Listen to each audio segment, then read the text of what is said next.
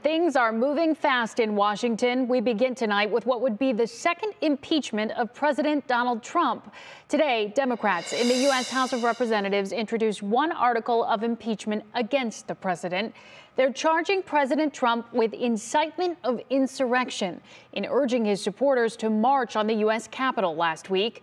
Democrats also introduced a resolution that calls on Vice President Mike Pence to invoke the 25th Amendment to remove President Trump from office. Republicans sidelined that resolution, but the full House will hold a roll call vote on it tomorrow. A House vote on the article of impeachment is expected on Wednesday. So, what would a second impeachment mean, and what are the consequences? Will Ujek spoke with several experts tonight to provide some context. We have never had a president impeached twice. It's never happened before, and with less than two weeks left in President Trump's administration, what exactly does that mean? Those who favor impeachment are not doing it really to remove President Trump from office because he will be removed from office anyway.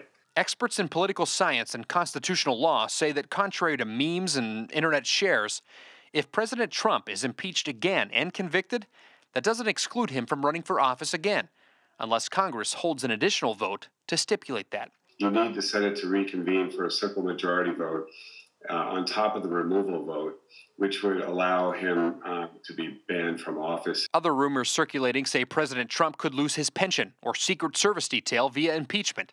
Again, it all needs context. Under the former President's Act, a president is entitled to an office and a staff and a pension and lifetime protection from the Secret Service, all funded by the taxpayers once he leaves office.